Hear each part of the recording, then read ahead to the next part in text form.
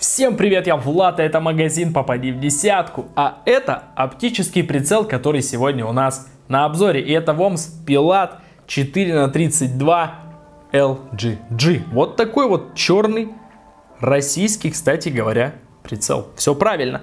Прежде чем мы начнем, обязательно подпишитесь на канал, поставьте лайк этому видео и напишите свой комментарий, чтобы помогать нашим видео продвижении.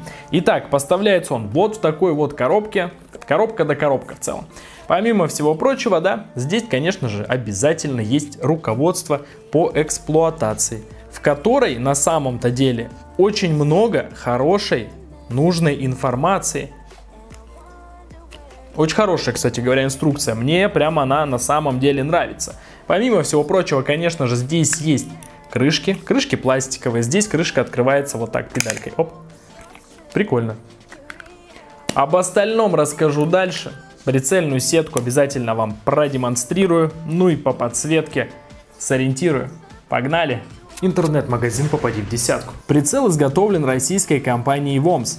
Материал корпуса алюминий, длина его 274 мм, вес 545 грамм. Диаметр линзы объектива 32 мм. Рассматриваемый прицел имеет расположенную во второй фокальной плоскости крестообразную прицельную сетку. Посадочный диаметр у данной модели 30 мм. Кратность здесь фиксированная, это 4, поэтому изменить ее не получится. Что насчет подсветки? Есть ли подсветка? Подсветка-то есть, но я не знаю на самом деле. Я постараюсь, конечно, показать вам ее, но здесь штука в том, что эту точку очень сложно уловить камерой. Но для того, чтобы вы понимали, как выглядит подсветка, это точка вот в самом перекрестии. Все, то есть это вся подсветка. Но в целом, на самом-то деле, это и не сказать, что прям плохо. Потому что не все пользуются подсветками, и люди не очень любят, когда прицел засвечивается, да, таким образом. Итак, если говорить про подсветку, давайте расскажу вам про то, за что отвечает каждый отдельный барабан, и что вообще в этом прицеле можно отстроить и настроить.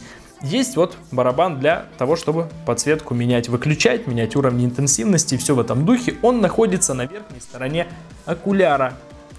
И что, конечно же, очень приятно, батарейка в комплекте идет, ничего не нужно докупать дополнительно, классно. Для диоптрийной отстройки у основания окуляра также есть барабан. Довольно-таки все стандартно, да, пока что. Дальше идем. На верхней стороне и правой стороне узла управления находятся барабаны, которые отвечают за регулировку прицельной сетки, где верхний барабан отвечает за отстройку по оси Y, а правый барабан за отстройку по оси X. И опять же снова все довольно-таки стандартно, но стандартно не значит ведь плохо. Такой вот оптический прицел. И если вдруг сейчас у вас возник вопрос, а где же взять-то его? Так а давайте я и подскажу.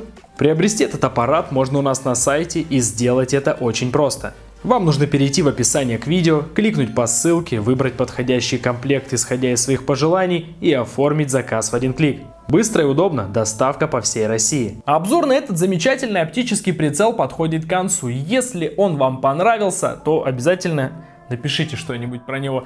Ну, если не понравился, тоже напишите в целом, почему бы и нет. Также ставьте лайк, подписывайтесь на канал. Ну и вдруг я что-то не сказал, обязательно спрашивайте об этом в комментариях, обо всем расскажем, на все ответим. Я же с вами прощаюсь, всем спасибо, пока и до новых обзоров.